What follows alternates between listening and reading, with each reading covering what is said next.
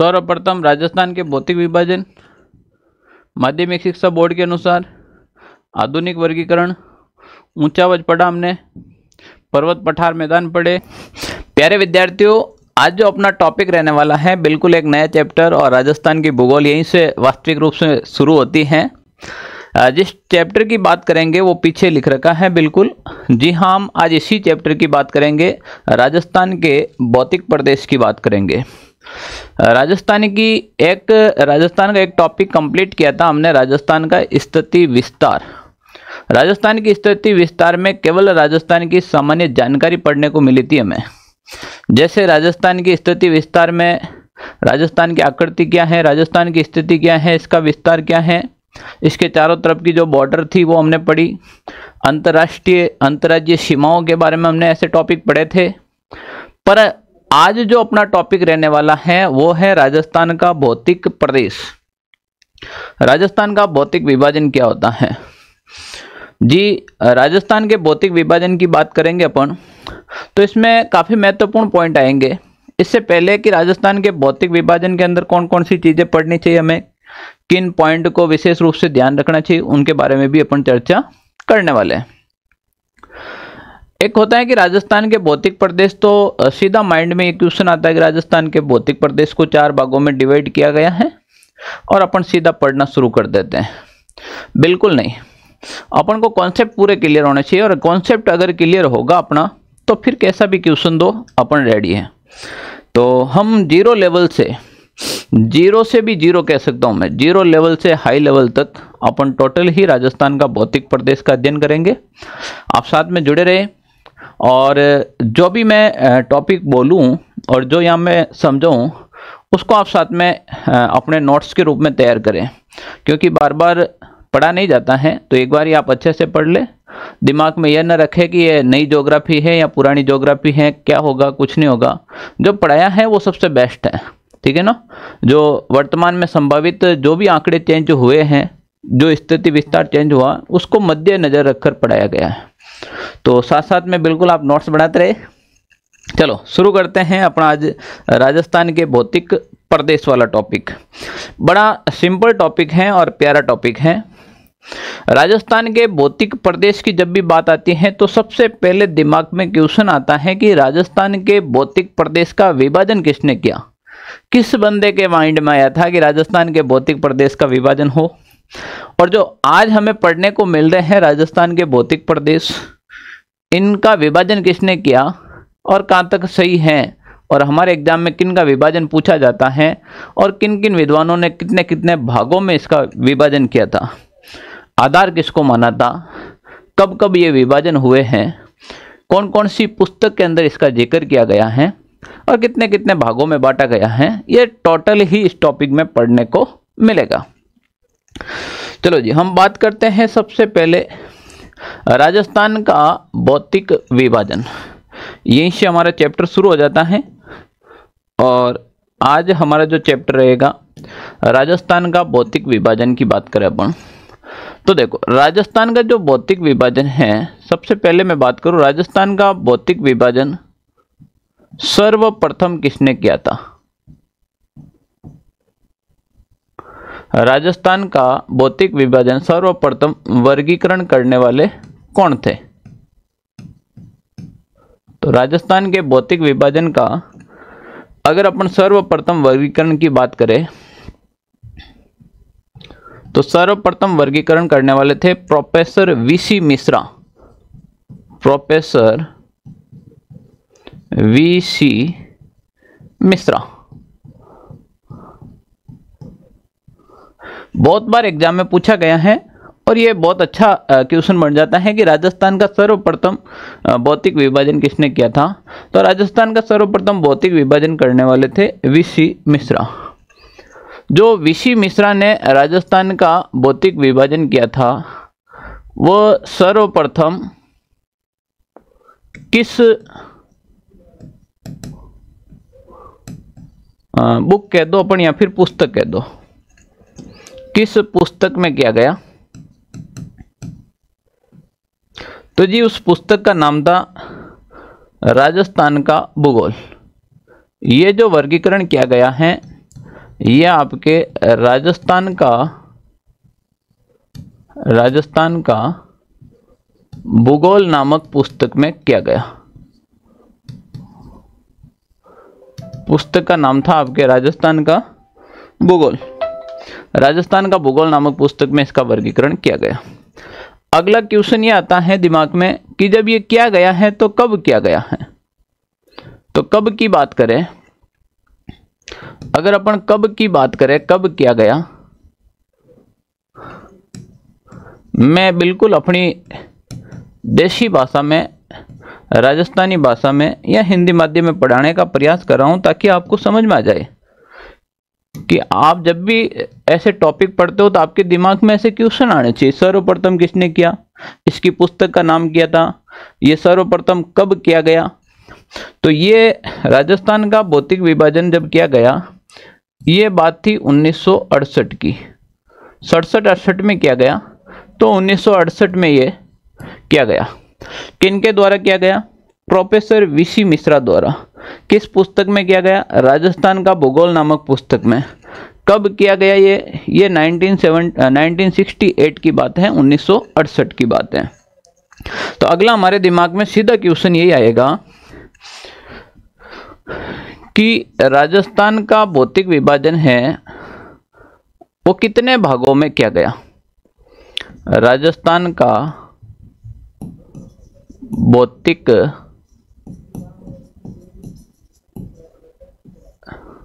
विभाजन।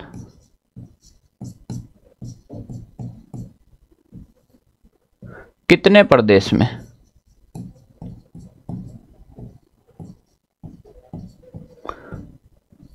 राजस्थान का जो भौतिक विभाजन है, वो कितने प्रदेश में किया गया? और यहाँ से सीधा क्वेश्चन आ जाता है अपने पास।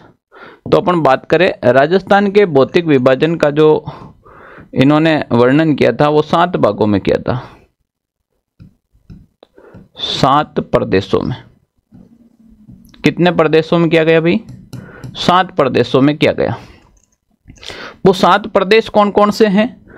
यहाँ से अगर आपके क्वेश्चन आ जाए तो देखो, पहला जो प्रदेश डिवाइड किया था इन्होंने, पहला प्रदेश है, वो हो जाएगा आपके पश्चिमी शुष्क प्रदेश। राजस्थान का पश्चिम जो साइड है, वो पूरा शुष्क प्रदेश है, और इसे पश्चिमी शुष्क प्रदेश के नाम से डिवाइड कर दिया। तो पहला जो भौतिक विभाजन किया गया है, वो आपके पश्चिमी शुष्क प्रदेश के नाम से किया गया। पश्चिमी शुष्क प्रदेश।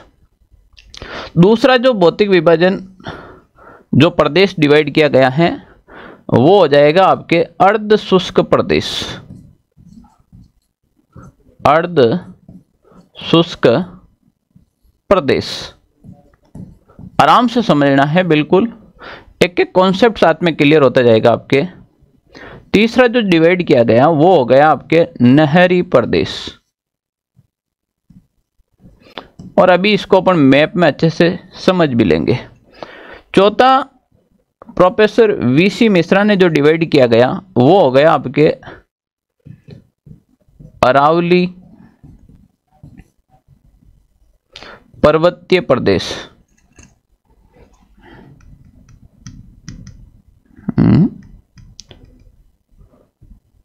अरावली पर्वतीय प्रदेश। अरावली पर्वतीय प्रदेश।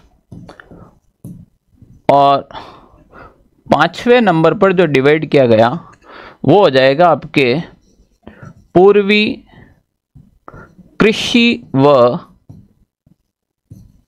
पूर्वी कृषि व औद्योगिक प्रदेश।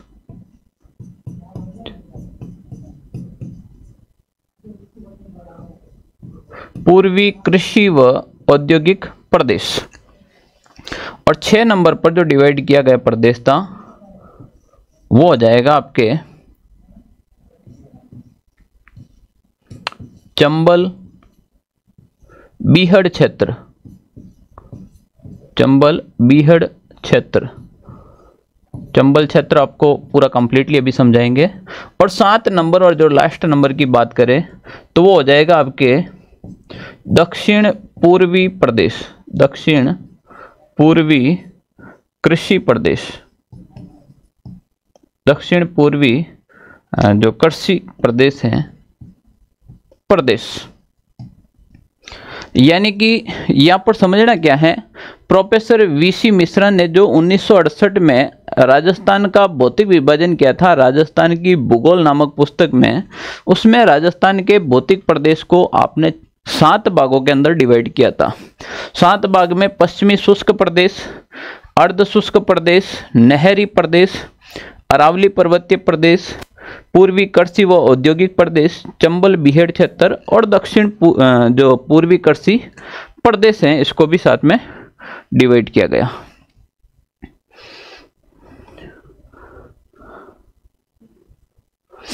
अगर मैं बात करूँ, वो कौन कौन से प्रदेश हैं तो आप समझे। जो सातों प्रदेश का डिवाइडेशन किया गया, सातों प्रदेश को अगर अपन यहाँ पर समझने का प्रयास करें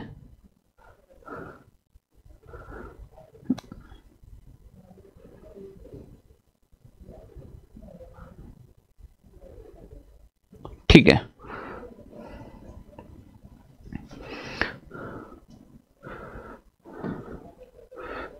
यहाँ पर अगर अपन समझे इस बात को,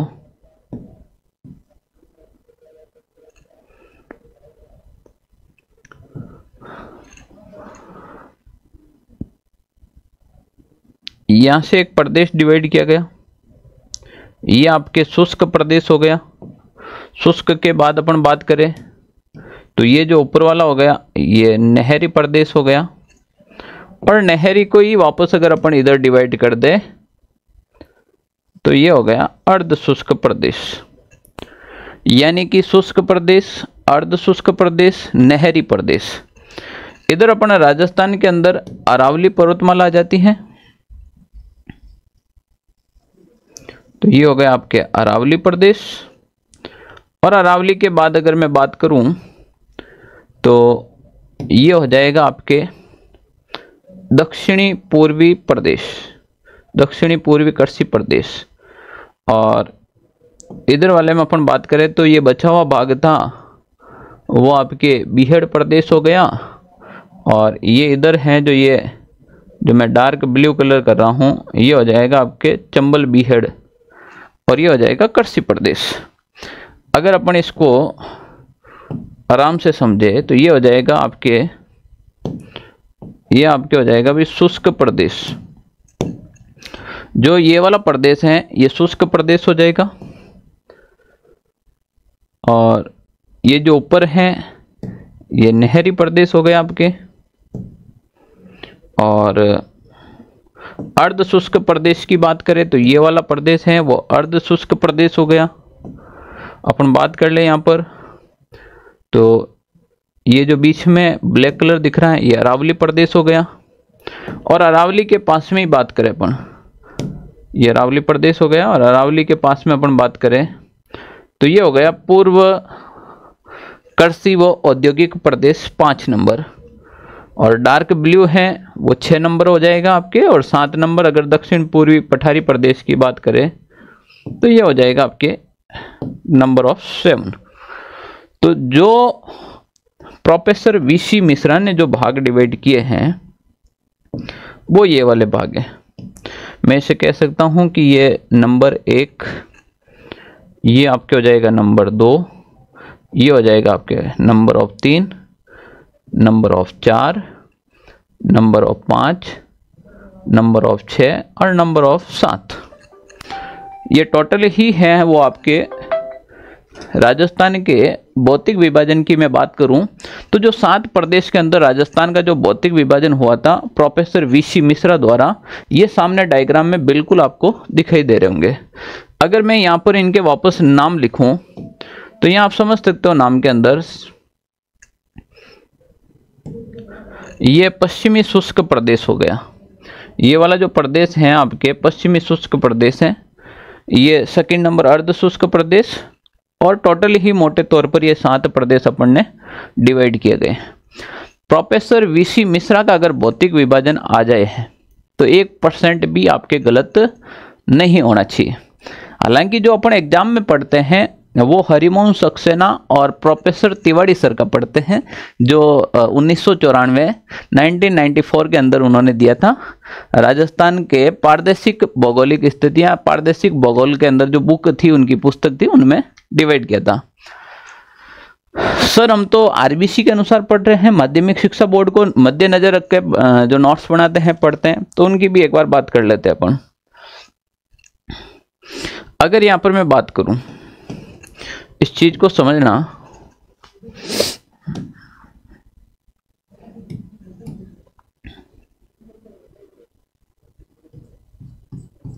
अभी तो मैंने प्रोफेसर वीसी मिश्रा के अनुसार पढ़ाया गया।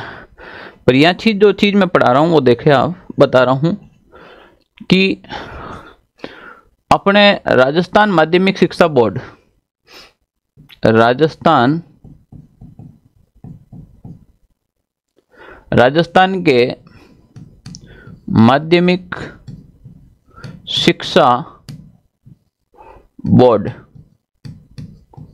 राजस्थान माध्यमिक शिक्षा बोर्ड, मैं बात करूँ आपके कक्षा नाइन्थ की। राजस्थान माध्यमिक शिक्षा बोर्ड के कक्षा नाइन्थ की बात करूँ तो नाइन्थ की बुक है जिसका नाम है सामाजिक विज्ञान।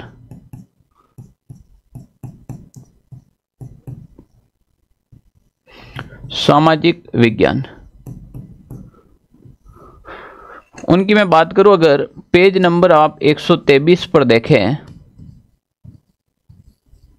पेज नंबर 123 पर देखें तो उन्होंने राजस्थान का जो भौतिक विभाजन है, वो पाँच भागों में किया गया। राजस्थान का जो भौतिक विभाजन है, वो कितने भागों में किया गया है? पाँच भागों में किया गया। पाँच प्रदेश के रूप में। अगर राजस्थान की माध्यमिक शिक्षा बोर्ड को अपन मध्य नज़र रखा कर बात करें तो वो पाँच भौतिक प्रदेश कौन कौन से हैं? तो वो जो पाँच भौतिक प्रदेश हैं, उसमें से नंबर एक आपके हो जाएगा, शुष्क, मरुस्थलीय प्रदेश, शुष्क मरुस्थलीय प्रदेश नंबर दो पे मैं बात करूँ तो हो जाएगा अर्ध शुष्क मरुस्थलीय प्रदेश। अर्ध शुष्क मरुस्थलीय प्रदेश।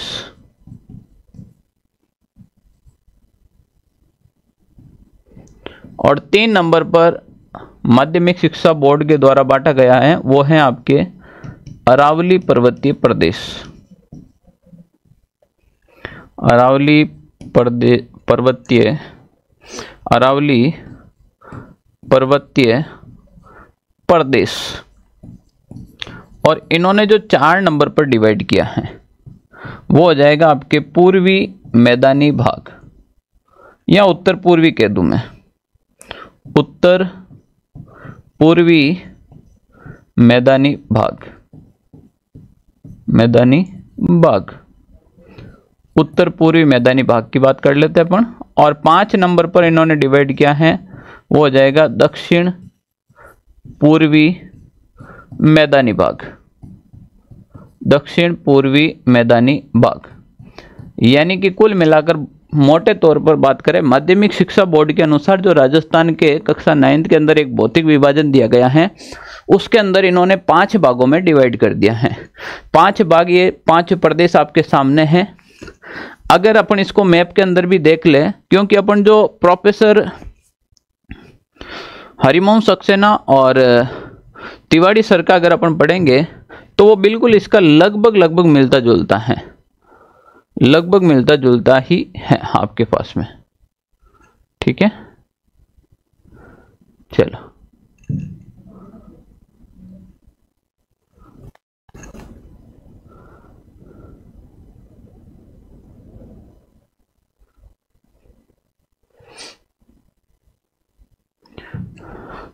चलो, अपन बात करते हैं, अगर इन पाँच भौतिक प्रदेश की बात करें तो इन पाँच भौतिक प्रदेश में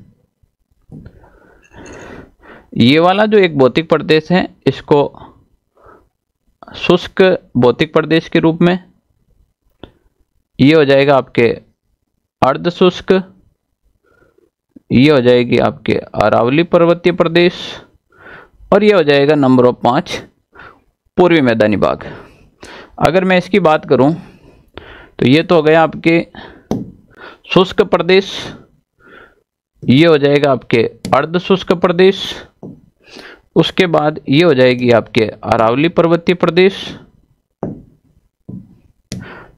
और अरावली के जस्ट पास में अपन बात करें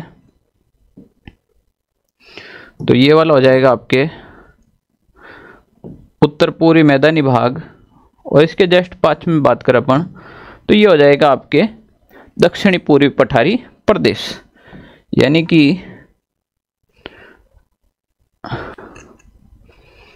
ये हो जाएगा आपके नंबर एक, नंबर दो, नंबर तीन, नंबर ऑफ़ चार और नंबर ऑफ़ पाँच।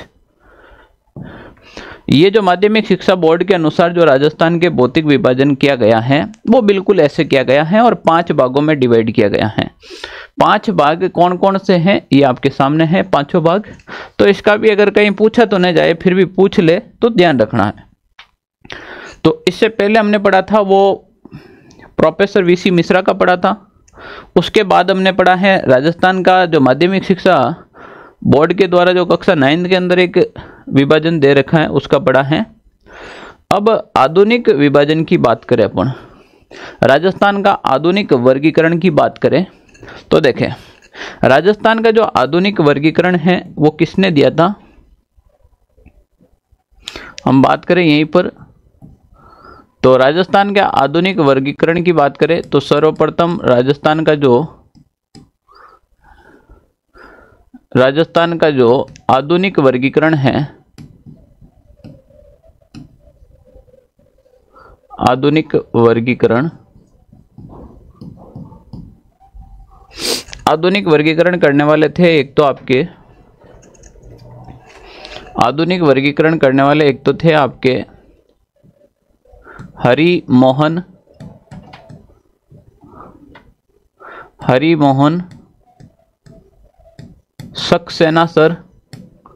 तो हरिमोहन सक्सेना और एक आपके थे प्रोफेसर तिवाड़ी सर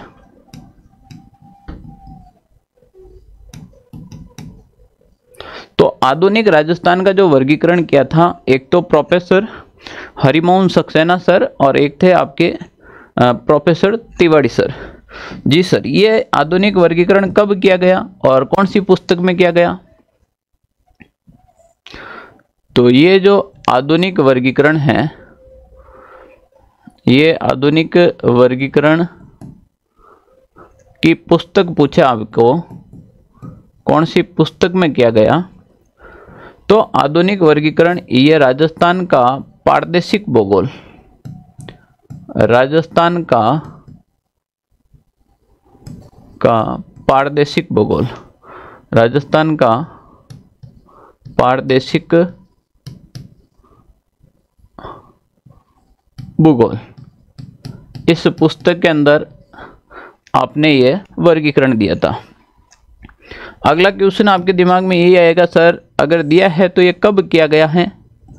अगर हम कब की बात करें, कब किया? अगर कब किया की बात करें,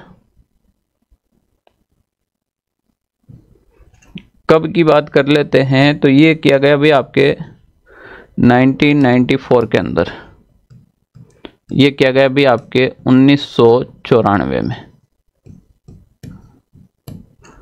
आधार किसको माना है?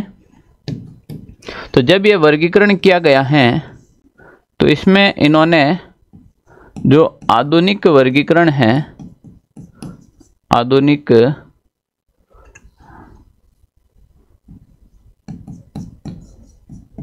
आधुनिक वर्गीकरण का आधार। आधुनिक वर्गीकरण का आधार। आधुनिक वर्गीकरण का आधार किसको माना है? तो इन्होंने आधुनिक वर्गीकरण का आधार माना है एक तो ऊंचावच को। बड़ा इंपॉर्टेंट है ऊंचावच क्या होता है, अभी मैं बताऊँगा। तो एक तो इन्होंने बांटा है ऊंचावच को। एक इन्होंने माना है जलवायु को। नदी बेसिन। इन सबको इन्होंने आधार मानकर जलवायु का वर्गीकरण किया था।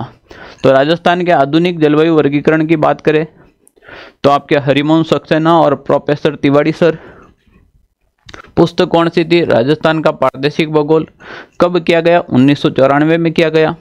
आधुनिक वर्गीकरण का आधार में किसको मानकर किया गया? तो ऊंचावत जलवायु, नदी, बेसिन क्षेत्र, इनको मानकर किया गया। तो लास्ट आपके दिमाग में यह सवाल आएगा कि कितने भागों में किया गया? आधुनिक वर्गीकरण है वो कितने भागों में?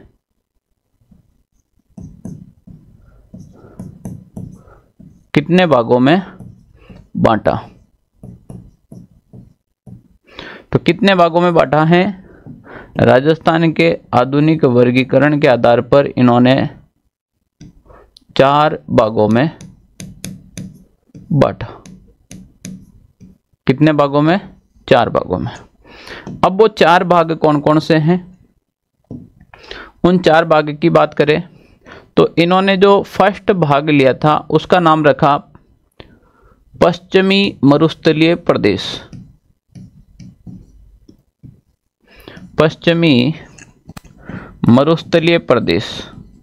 जो फ़र्स्ट भाग है, उसका नाम क्या हो गया? पश्चिमी मरुस्थलीय प्रदेश। यानी कि आधुनिक वर्गीकरण के आधार पर जो पाँच भाग डिवाइड किया गया, उसका पहला भाग हो जाए पश्चिमी मरुस्थलीय प्रदेश। दूसरे भाग की बात करें तो ये हो जाएगा आपके अरावली पर्वतीय प्रदेश। अरावली पर्वतीय प्रदेश। और तीसरी अपन बात करें, तीसरी अपन बात करें तो ये हो जाएगा आपके उत्तर पूर्वी मैदानी भाग। मैदानी भाग। और नंबर चार की बात करें तो हो जाएगा आपके दक्षिण पूर्वी पठारी प्रदेश।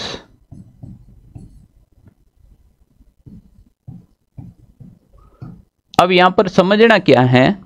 समझने वाली बात यह है कि इन्होंने जो आधार बनाया था, यानी कि आधुनिक वर्गीकरण का जो आधार दिया था हरिमोहन सक्सेना और तिवाड़ी सर ने, उसमें जो आधार दिया था, एक तो ऊंचावज का दिया, जलवायु का दिया और नदी बेसिन क्षेत्र का दिया। ऊंचावज जलवायु, नदी बेसिन क्षेत्र। तो देखो, पश्चिमी मरुस्थलीय प्रदेश, पर्वतीय प्रदेश हमें देखने को मिला।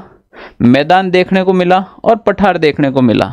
यानी कि इस भौतिक प्रदेश के अंदर मैदान भी है, पठार भी है, मरुस्थल भी है, पर्वत भी हैं, नदियाँ भी हैं। तो ये सारी चीज़ें हमें इसके अंदर देखने को मिलेगी। तो कुल मिलाकर मोटे तौर पर इन्होंने चार भागों में डिवाइड कर दिया। कितने भागों में डिवाइड कर दिया भाई? चार भागों में डिवाइड कर दिया। और चार भाग कौन कौन से हैं? तो देखें।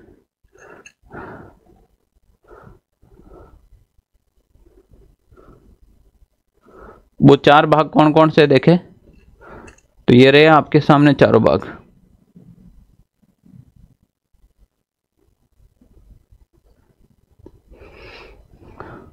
चार भाग की बात करें अपन तो ये जो बीच वाला जो क्षेत्र है, ये अरावली पर्वतीय प्रदेश कहलाता है।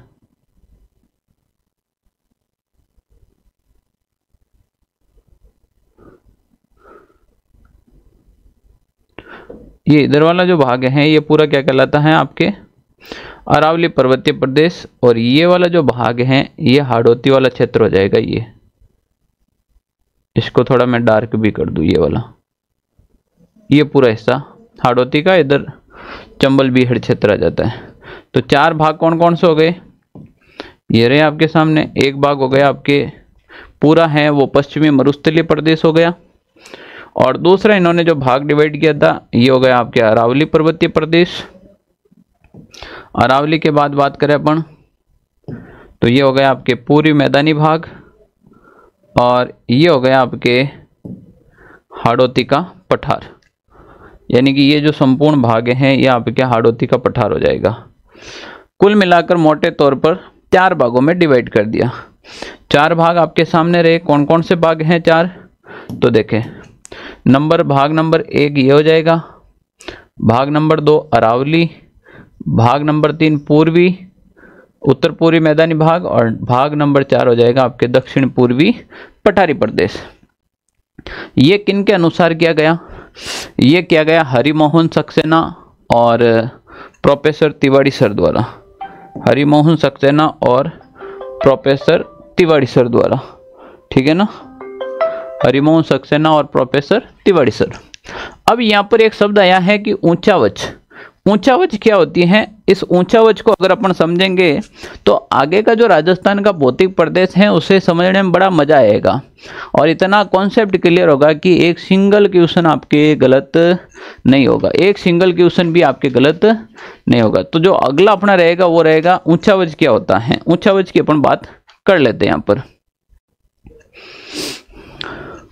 ऊंचावच क्या होता है, इसको समझे। कहते हैं ना, पृथ्वी गोल है। पृथ्वी गोल तो है, पर पृथ्वी उबड़ खाबड़ है। अपनी भाषा में समझे ना, पृथ्वी उबड़ खाबड़ है। कहीं पे बड़े बड़े पहाड़ हैं तो कहीं पे नदियाँ हैं, कहीं पे गहरे गहरे खड्डे हैं, गड्ढे हैं, कहीं पे दरारें हैं। कहीं पे पठार है तो कहीं पे मैदान देखने को मिल रहा है। पृथ्वी का शेप गोल है, पर पृथ्वी है उबड़ खाबड़। पृथ्वी क्या है? उबड़ खाबड़ है। अगर पृथ्वी उबड़ खाबड़ नहीं होती तो पानी की निकासी कैसे होती समझो? अगर ढाल बराबर होता सभी जगह पर, पृथ्वी एकदम गेंद की तरह, एकदम बॉल की तरह, एकदम गोल होती। तो बताओ, पानी का फिर ढाल कैसे निर्भर होता? उबड़ खाबड़ है, कहीं पे ढाल होता है, वो पानी का जो ढाल होता है, वो ढलान की ओर होता है, ऊपर से नीचे की ओर जाता है तो उबड़ खाबड़ होते हैं पृथ्वी तो इस प्रकार से पानी की निकासी भी बन जाती है। वो जो उबड़ खाबड़ जो प्रदेश हैं, उनको अलग अलग भागों में कैसे पढ़ सकते हैं अपन? समझ सकते हैं। अगर मैं पृथ्वी की एक संरचना बनाऊँ पृथ्वी का टॉपेस्ट भाग और पृथ्वी का लोवेस्ट भाग लेकर मैं एक संरचना बनाऊँ तो वो ऊंचावच के अंदर आएगा, और ऊंचावच कैसा है पृथ्वी का, वो अपन समझते हैं। पृथ्वी का अगर मैं ऊँचा वह समझाने का प्रयास करूँ आपको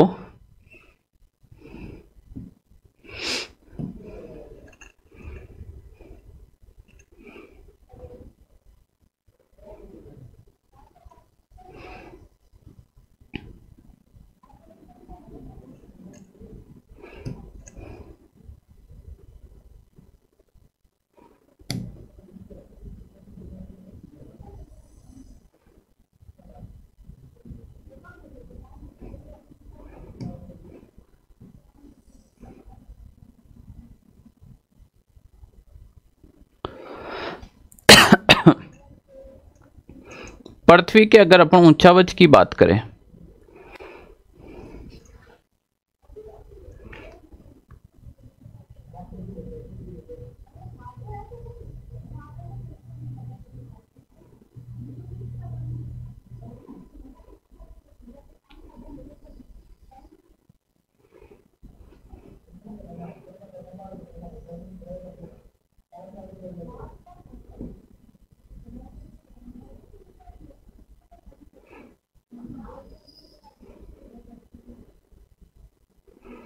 चलो एक बार आप इस पूरी संरचना को समझने का प्रयास करें कि आखिर में कहना क्या चाह रहा हूँ। पृथ्वी के ऊपरी भाग। पृथ्वी के ऊपरी भाग की बात करूँ मैं तो यहाँ से अगर मैं लूँ यह पृथ्वी का ऊपरी भाग हो गया।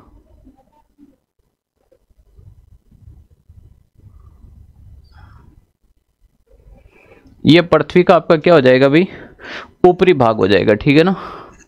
अगर इसको मैं और डिवाइड कर दूँ ऐसे।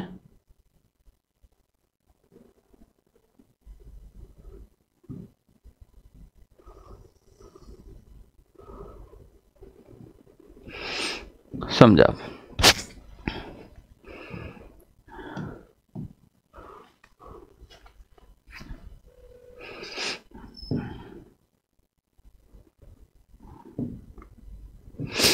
ये हो गया आपके सबसे ऊपर हो गया भाई पर्वत। सबसे ऊपर की मैं बात करूँ, नंबर एक, ये हो गया आपके पर्वतीय भाग। पर्वतीय भाग। पर्वत के बाद अगर मैं बात करूँ तो नंबर दो पे मैं अगर बात करूँ तो ये हो गए आपके पठारी भाग। पठारी भाग। और नंबर में तीन की बात करूँ तो ये हो गए आपके महाद्वीपीय ढाल।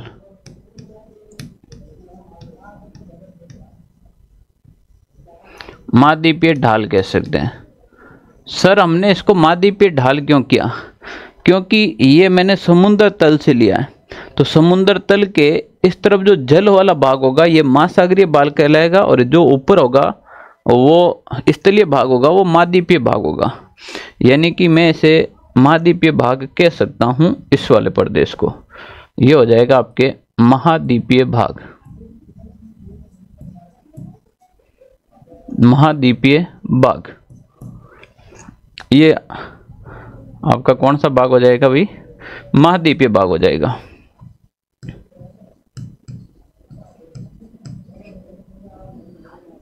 महाद्वीपीय भाग ठीक है? चलो। अगर ये महाद्वीपीय भाग है तो ये महाद्वीपीय ढाल हो जाएँगे।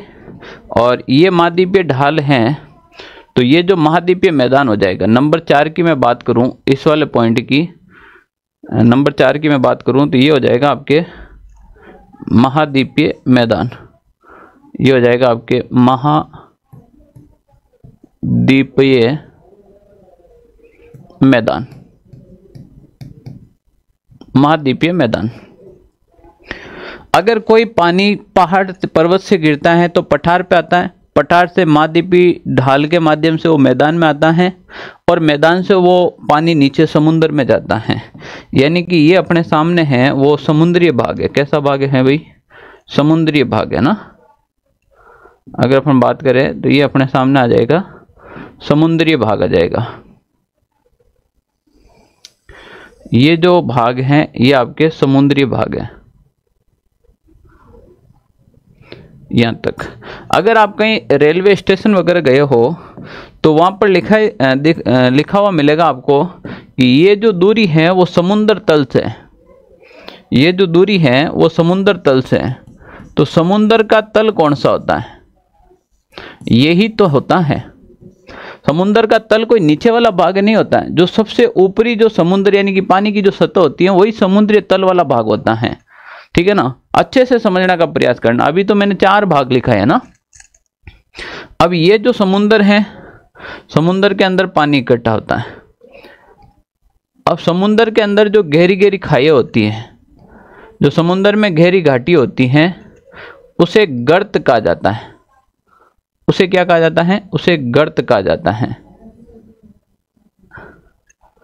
ये टोटल ही समुद्री भाग हो गया। ये आपके सामने टोटल ही समुद्री भाग हो गया। सर, आप इतने धीरे पढ़ा रहे हो क्या? मैं धीरे नहीं पढ़ा रहा हूँ। मेरी पढ़ाने की स्पीड एकदम सही है। आप लोग भी साथ साथ में ऐसा डायग्राम तैयार करें। तब आपकी भी जितनी स्पीड में लिखा रहा हूँ, उतनी आपकी आएगी। आप साथ में जब डायग्राम नहीं बनाएँगे ज्योग्राफी का दूसरा नाम ही डायग्राम है मैप और जब आप वो चीज़ें नहीं बनाएँगे तो कैसे कॉन्सेप्ट क्लियर होंगे?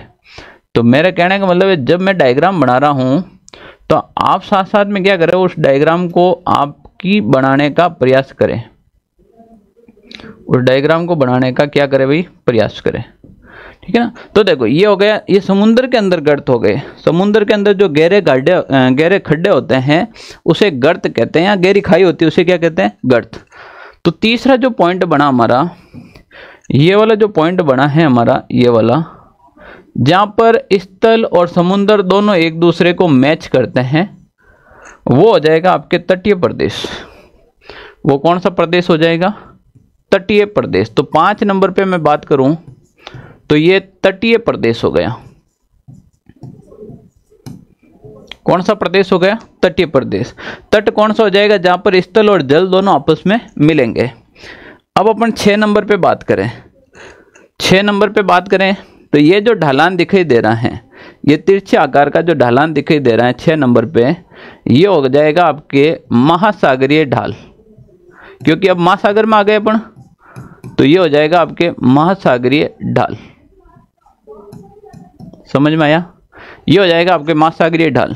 और जो ये नीचे जो मैदान टाइप दिखाई दे रहा है आपके, ये हो जाएगा आपके महासागरीय मैदान। महासागरीय महासागरीय मैदान। और ये जो आठ नंबर पे ये जो आपको भाग दिखाई दे रहा है, ये हो जाएगा आपके महासागरीय महासागरीय गर्त महासागरीय गर्त ऑब्लिक खाई। या तो आप गर्त कहो इसे, या फिर आप खाई कह सकते हो। यानी कि इस पृथ्वी का जो सबसे नीचे वाला पॉइंट है, सबसे नीचे भाग है, वो गर्त है और पृथ्वी के सबसे टॉपेस्ट में जो भाग हैं, वो पर्वत है। यानी कि पृथ्वी की संरचना में बात करूँ तो सबसे ऊपरी भाग पर्वत है और सबसे जो नीचे भाग है, वो आपके गर्त हो जाएगा। और जो ये नीला कलर का आपको दिखाई दे रहा है, जो ब्लू कलर का आपको दिखाई दे रहा है, ये आपके महासागरीय भाग हो जाएगा। ये आपके हो जाएगा महासागर या फिर समुद्र कह सकता हूँ मैं। महासागर। या फिर अपन कह सकते हैं ये आपके समुद्र हो गया। क्या हो गया अभी? समुद्र। और इसका जो सबसे ऊपरी सतह होता है, वो समुद्र तल कहलाता है। अगर कोई भी अपन दूरी नापते हैं तो ये समुद्र तल से नापते हैं। अगर अपन इसको ऐसे डिवाइड करें, अगर इस चीज़ को अपन सीधा ऐसे तट भाग से अगर अपन डिवाइड करना चाहे इसको, ये लो। तो इधर वाला जो भाग बचेगा, यानी कि जो इधर वाला भाग है, ये तो हो जाएगा आपके महाद्वीपीय भाग या फिर स्थलीय भाग? स्थलीय भाग। और जो इधर वाला जो भाग बचेगा,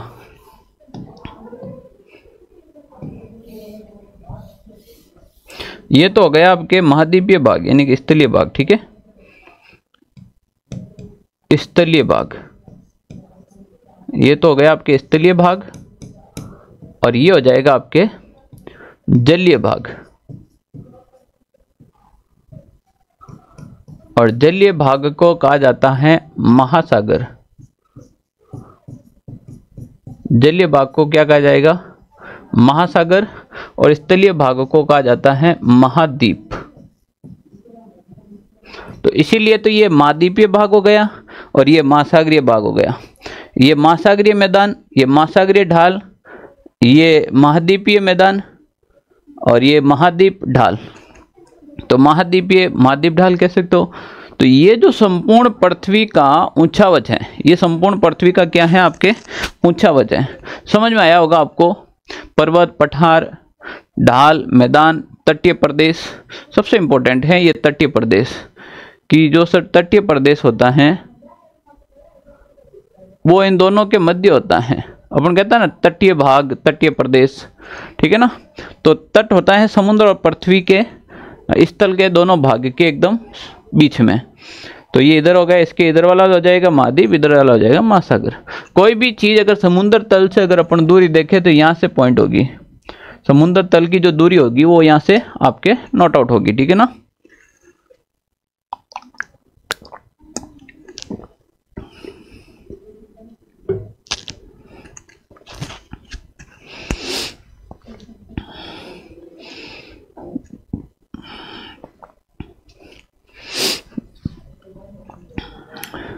इसके बाद हमें क्या देखने को मिल सकता है? कि सर, ये समुद्र तल है तो इस समुद्र तल के ऊपर कौन कौन सी घटना देखने को मिलेगी? अगर समुद्र तल के ऊपर की बात करें अपन, समुद्र तल के ऊपर की बात करें तो मान लेते हैं कि ये आपके समुद्र तल है।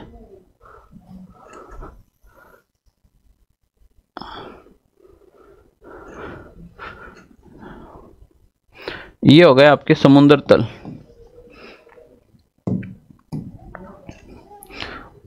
ये हो जाएगा आपके समुद्र तल। और समुद्र तल के बाद बात करें तो सबसे पहले आपके आएगा मैदान। समुद्र तल में अपन बात करें तो सबसे पहले आपको क्या देखने को मिलेगा? मैदान। मैदान के बाद अगर कोई चीज़ देखने को मिलेगी तो वो होगी आपके पठार। पठार के बाद कोई चीज़ देखने को मिलेगी तो वो हो जाएगी आपके पहाड़ी। क्या हो जाएगी भाई? पहाड़ी।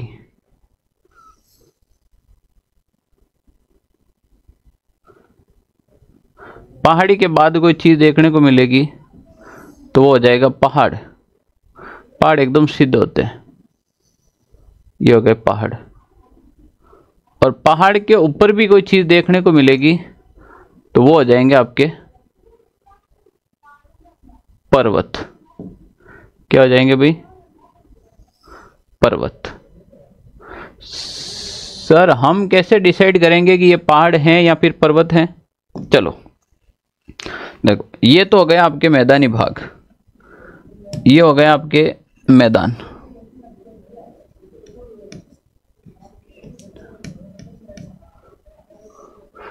मैदान के बाद अपन बात करें, दिए हो गए आपके।